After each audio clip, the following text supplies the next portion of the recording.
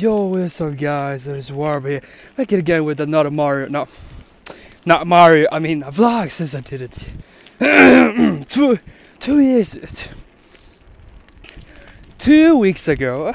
I uploaded a vlog, and now it's time for another vlog. Yeah, actually, no, I'm still uploading Mario, Luigi, Bowser Inside Story every single day. You know why? Because it's so very long.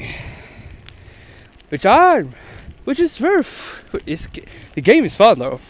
Yeah. Um, to be honest, I use my umbrella.